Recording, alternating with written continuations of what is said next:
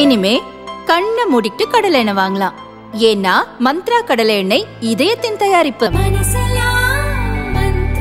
புதுக்கோட்டை கீழ மூன்றாம் வீதியில் உள்ள வாக்குச்சாவடி மையத்தில் சட்டத்துறை அமைச்சர் ரகுபதி வாக்களித்தார்.